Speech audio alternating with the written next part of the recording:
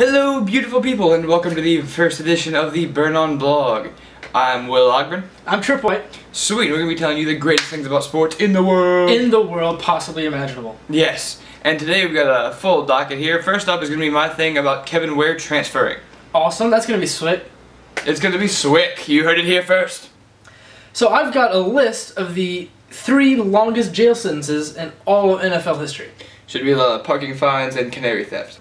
So Louisville guard Kevin Ware captured a lot of media attention last year for his uh, gruesome and horrific injury against Duke. Yeah, no, that was that was fun to watch, but yet really painful to watch. Why was it fun to watch? Well, just like well, was more of the reaction to the people on the sidelines. Just, than it was actually- exactly. Just and then like and then I think one guy went into the locker room and threw up. Yeah, it was it was weird. That's Ruffsky. But yeah, so everybody heard about him because of that. But uh, what you may not know is that he's actually transferring after their uh, tournament loss to Kentucky. Crazy. Uh, where to? The options are still open. Uh, he's from Georgia, so they were thinking about uh, him going back home, uh, Georgia State, and maybe he was thinking about going to Tennessee Okay. before Bruce, Por- Bruce Pearl went to Auburn. So now he's Ah. thinking about going to Auburn. Okay, so it just he's following the pearl. Exactly, he's following the Pearl. The crazy thing about it is a lot of people don't know this either. Um, he was actually committed to UCF before he even went to Louisville. Crazy man. That's just like right down the street. And uh, there was a really kind of a sketch McGee deal going on there where uh, this guy that was a convicted felon pretty much got on a three-way call with uh, Kevin Ware and uh, Donnie Jones, the UCF coach, was like, alright here bro, listen to me here. Alright, this boy Kevin Ware right now, he about to come to your school, alright? We're not gonna ask no questions, alright? Now a bunch of bags of money gonna show up at your house, don't, don't do it, no don't, worry don't, about don't, that. question. Just take them in and just just put them on your bed. Just take 'em. we got you some solid gold shooting shoes. Everybody needs solid gold shooting shoes. Everybody needs solid gold shooting. shoes. You ever heard of uh, Darryl Henley? Uh, no. Yeah, well, uh, not really surprising. He played in the early '90s. Not really that big of a deal. He got sentenced 41 years in jail. Jesus, what did he do?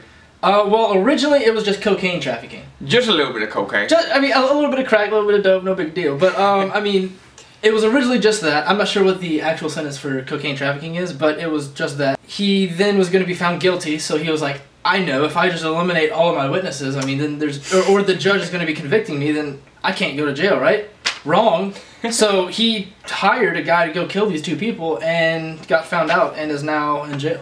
So this dude just went like straight Walter White mode. Like we're talking Straight about Walter White We're talking about the problems we have in the NFL now. This guy back in the day was like, all right, I'm slinging crack, I'm slinging coke. Okay, now I'm gonna get found out, so I'm gonna kill my girlfriend, the judge, the jury, my cat, my neighbor. And then next on the list is Eric Naposki. That's a sinister name right there. That is a, y- nothing good can come from a guy with the last name Naposki. So what he did, uh, well, he got sentenced to life with no parole, Mhm. and all he did was, uh, well, he had a girlfriend, a little, a little on the side lover, oh, and she had a boyfriend, and she wanted to collect his medical benefits. So she was like, "Hey, Naposki, can you go kill this guy?"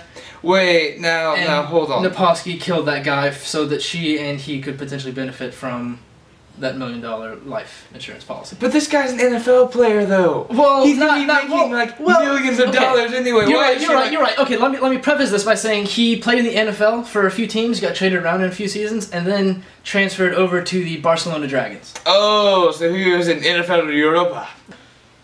Number one, we've got Keith Wright. Uh oh. He's got a sentence over two centuries. Wait, wait, wait, wait. This guy's name was Keith Wright, though. No, what could a Keith guy Wright- named Keith Wright do? No, Keith Wright. Well, okay, all all of the crimes that you would expect, which are home invasion, sexual assault, uh, false imprisonment, which is like holding somebody hostage, Jesus. um, armed robbery, What did he? How did he? These can't happen at once. kidnapping. These can't happen at once. He had to go out several times and like collect Well, different people. well, and well. just Let me tell you this: little- he had he had an additional on top of those charges, had an additional 19 other charges to What get the- him. Yeah, no, to get him a two century, almost two and a half century sentence. You know, you really gotta admire that guy's commitment. I mean, if you're gonna be a thug, I mean, there are people walking around with sagging pants, just like flashing gang signs, whatever. This guy wakes up every day and he's like, how, how- could I be more of a thug? How can I break the law that I didn't do yesterday? exactly. Like, this would be the guy that does like counterfeiting and does like serial jaywalking. and False just, Bitcoin. There you go. Like just absurd stuff. Just dealing in Kanye. Alright guys, that's going to wrap it up for today. Thanks for tuning in to this episode of the Burn On Vlog. Uh, it's been a pleasure having you.